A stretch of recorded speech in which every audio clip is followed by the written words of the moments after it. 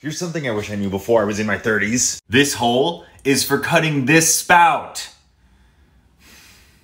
It even says it. Look, spout cutter. Put it in. Snip. Easy. Man. Great.